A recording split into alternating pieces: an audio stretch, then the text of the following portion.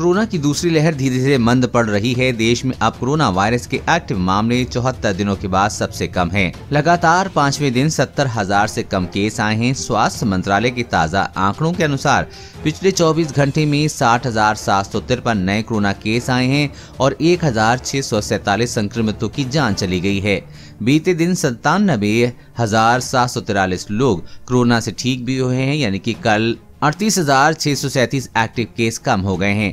इससे पहले गुरुवार को बासठ नए कोरोना केस दर्ज किए गए थे।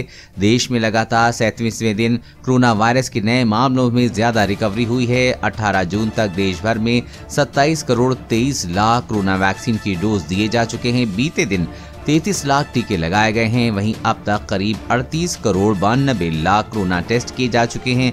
बीते दिन करीब 19 लाख कोरोना सैंपल टेस्ट किए गए, जिसका पॉजिटिविटी रेट चार फ़ीसदी से ज़्यादा है। आज कोरोना संक्रमण की ताज़ा स्थिति। कुल कोरोना केस दो करोड़ अट्ठानबे लाख तेईस हज़ार पाँच सौ छियालीस। कुल डिस्चार्ज दो करोड़ छियासी लाख अठहत्तर हज़ार तीन सौ नब्बे।